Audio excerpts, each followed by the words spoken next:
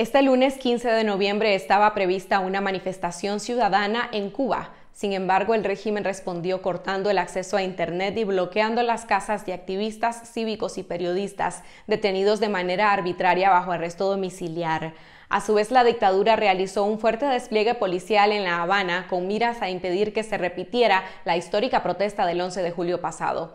Mi colega Elmer Rivas conversó con Abraham Jiménez Enoa, columnista de The Washington Post y Gato Pardo, y esto fue lo que le dijo sobre la situación en la isla.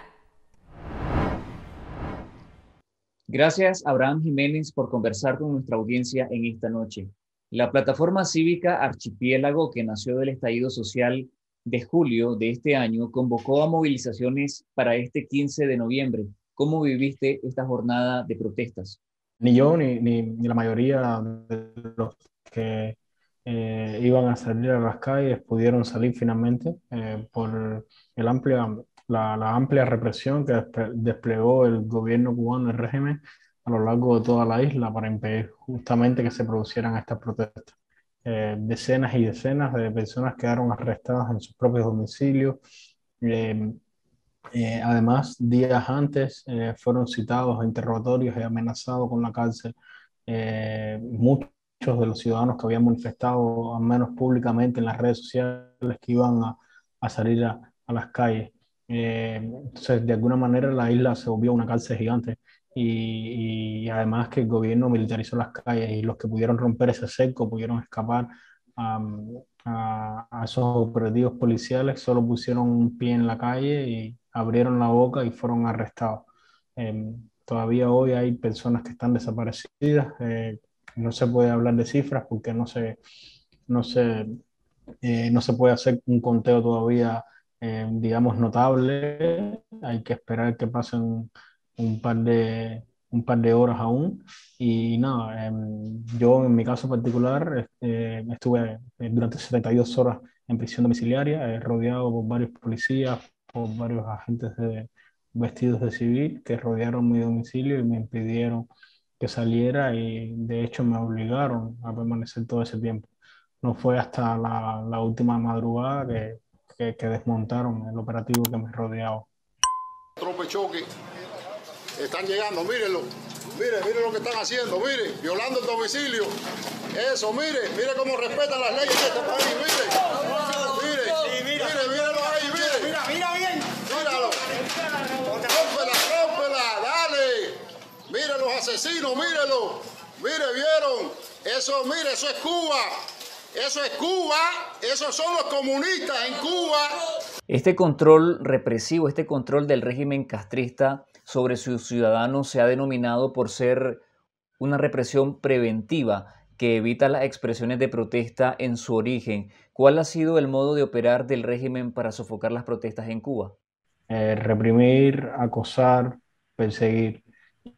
Y como las protestas estaban anunciadas, que no fueron como las de julio, que nacieron de, de pronto, fue un estallido social, fueron espontáneas, el régimen no las esperaba y de ahí que la gente haya podido salir a la calle. Esta vez, como era una convocatoria, el régimen eh, estaba preparado con mucha antelación y, lo que hizo fue desde semanas previas arreciar con su, con su, con su represión para, para ahogar las protestas. Pero el modo es el que te decía, arrestos domiciliarios, eh, citaciones arbitrarias a interrogatorios donde amenaza eh, con la cárcel a los ciudadanos, les advierte que si salen a la calle eh, irán a prisión, actos de repudio, que son estos actos que, que, llevan a cabo eh, las tumbas eh, castristas que se paran en las afueras de los domicilios de los disidentes, de los periodistas independientes, y le empiezan a gritar y a ofender cosas sumamente que, que rozan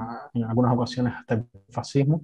y bueno, y militarizar las calles. Además, ya con todo con todo neutralizado, entonces el régimen eh, toma las plazas públicas y lleva a sus partidarios a las plazas públicas y hace creer que los que están eh, tomando el país y lo que, lo que están manifestándose son em, los que están a favor. Eh, cuando todo un país está en sus casas sin poder salir o en calabozos, hay mucha gente detenida. ¿Y qué rol ha tenido el uso de las redes sociales y del Internet en este contexto? Es fundamental. Es decir, la nueva Cuba no se puede contar sin Internet De hecho, esa nueva Cuba nació a partir de Internet. Eh, eh, Internet ha cambiado la fisionomía del país porque ha hecho que nazcan eh, no solo una nueva generación de medios independientes, sino que los ciudadanos em, comunes y la sociedad civil se empodere en la virtualidad y de la virtualidad salga a las calles. por más, por casi seis décadas, Cuba em, no, había podido expresarse, los cubanos tenían, no tenían manera de poder expresar eh, lo, que, lo, que, lo, que lo que querían, lo que quisiesen, y Internet le ha dado, y sus plataformas, Internet ha dado eh, esa posibilidad. Entonces, eh, no solo que, que, que, sirve Internet como plataforma para la expresión, sino también para la organización. de hecho, por ejemplo, Archipiélago nació a partir de, de Internet y se organizan y, se, y, y tienen una incidencia en la vida cívica cubana a partir de Internet. Este martes publicaste un artículo titulado Crónica desde el balcón, el fantasma de la represión asfixia a Cuba, en el que relatas la manera en que se te impuso arresto domiciliar de facto.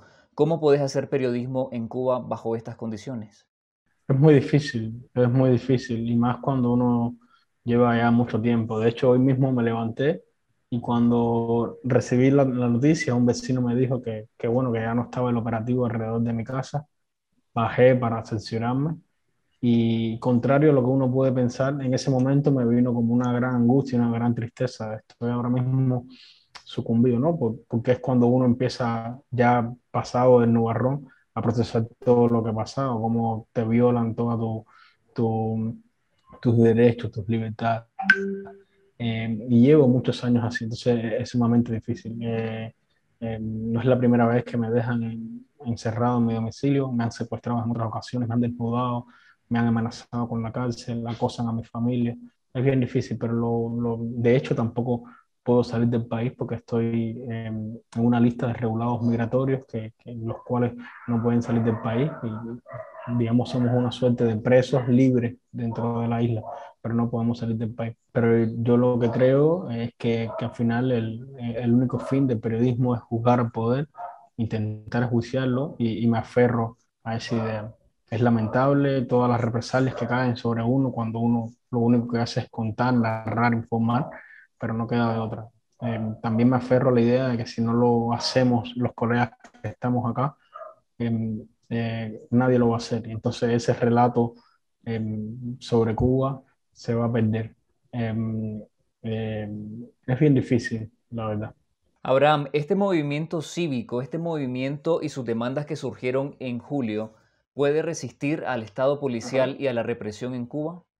La verdad está siendo muy difícil. De hecho, ahora mismo em, acaba de surgir la noticia de que Junior García acaba de rizar en España. Junior es el líder de, de, de Archipiélago y es otro artista más que se tiene que, que exiliar, otro líder cívico de Cuba que tiene que exiliarse para para proteger su integridad. En los últimos meses, después de julio, hemos asistido a un desangre de esa sociedad civil que se había empoderado en Cuba y que ha tenido que salir huyendo, eh, huyéndole básicamente a la cárcel. Quedan solamente dos bandos acá, o los que están presos, que son la mayoría del movimiento San Isidro, bueno, y otra serie de, de, activistas, o están en el exilio. Eh, de pronto, esa, esa masa compacta que era la sociedad civil que se había generado desde la llegada de Internet en los últimos años se ha, se ha fraccionado. Y repito, o están en prisión o están en el exilio. Está siendo muy difícil enfrentar la, la, la, represión del, del, régimen porque justamente como está creciendo eh, ese disenso, al menos de manera pública, un disenso que siempre estaba, pero justamente por miedos a represalias, la gente no lo hacía público ha crecido, la gente ha dejado de, de, de, disentir en el domicilio y ha, salido a la calle a decirlo en, en el barrio, en los, lugares donde, donde pueda. Y, y, eso ha traído como consecuencia que el régimen aumente su, su represión eh, para ahogar ese, ese malestar, esa inconformidad masiva que hay en el país. Entonces, eh, mucha gente está optando por el exilio, mucha gente eh, ha tenido que salir huyendo. Está siendo sumamente difícil eh, enfrentar esto. No pueden entonces organizarse, no existen rostros, liderazgo en que la población deposite su confianza. Ahora mismo la mayoría de los rostros de, la, de, de, esa sociedad civil están fuera o en las cárceles.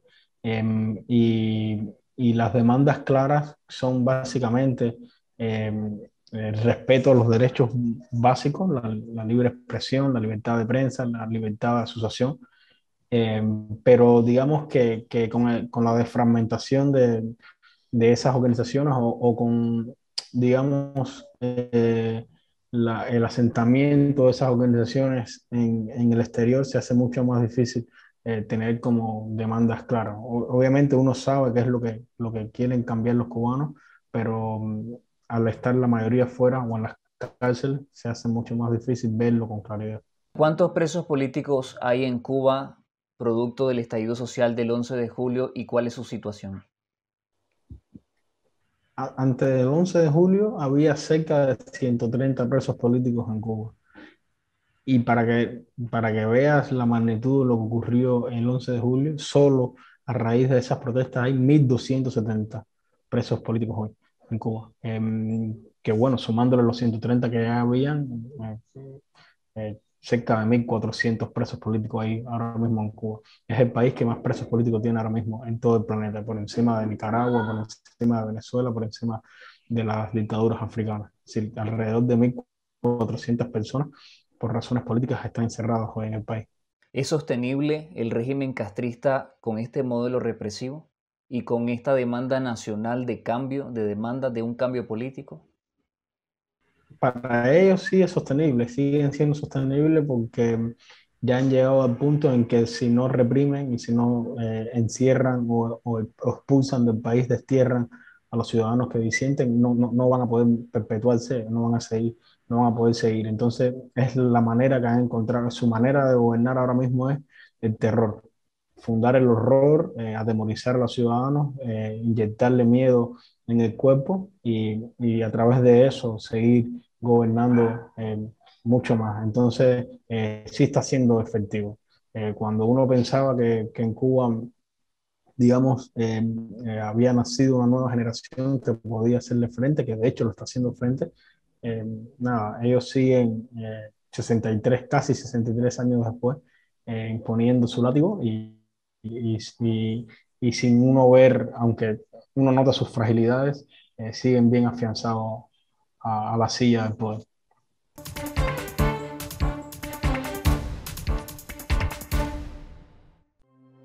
Confidencial, 25 años investigando y contando la verdad. La política la economía y la sociedad. La aspiración de un país con democracia, prosperidad y justicia. La corrupción, la pobreza y la violencia. Los temas que afectan e interesan a todos los nicaragüenses. Revelamos la verdad que otros ocultan. Fiscalizamos el poder. Promovemos el debate público. Hacemos periodismo independiente. Por una ciudadanía crítica y mejor informada Contá con nosotros, estamos cada vez más cerca de vos. Nunca podrán confiscar la verdad. Confidencial, conectados con la verdad.